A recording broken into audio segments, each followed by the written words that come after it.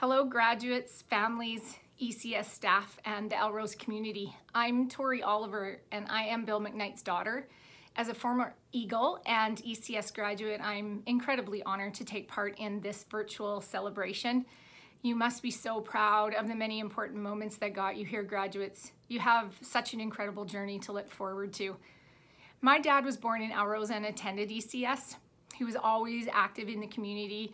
You know, he did things like played hockey.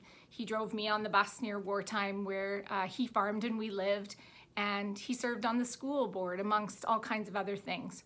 Eventually, he ran in the riding of Kindersley Lloydminster and was elected as a member of parliament with the Progressive Conservative Party.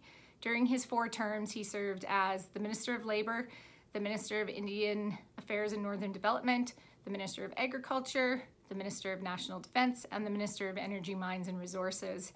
It was his hope that this scholarship would give back to uh, and support the community that supported him for many, many years.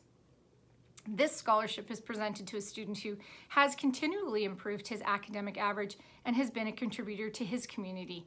The winner of this $500 scholarship is a well-rounded individual who many know is active when it comes to volunteering in the school and numerous events in the community, has been SLT president for the past two years, and has held a local part-time job while managing his school expectations. He works hard and has therefore obtained a great academic uh, average and marks this year. On behalf of my mom, Bev, my brother, Rob, and myself, it is my pleasure to present this year's Bill McKnight Scholarship to Thomas Brown. Great job, Thomas, and congratulations.